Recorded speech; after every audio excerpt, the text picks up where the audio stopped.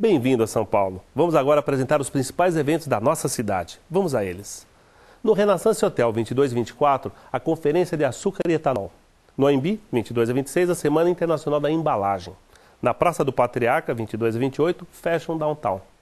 24 a 26, no Maxud Plaza, Congresso Brasileiro de Gestão Educacional. E lá no Transamérica Expo Center, no mesmo período, a Feira Abradilan Pharma. 25 e 26, no Centro de Convenções Frei Caneca, o evento da Brastoa. No FEComércio, a Feira das Graxarias. 25 a 28, no Imigrantes, a Feira de Cultura e Moda Urbana. Também lá no Centro de Exposições Imigrantes, a Moto Festival.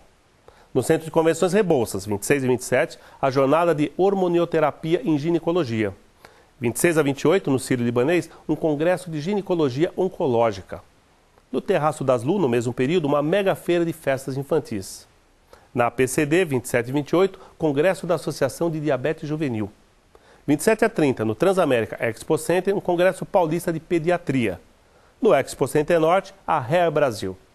No Centro de Convenções Frecaneca, 28 de março a 1 de abril, um Congresso de Audiologia.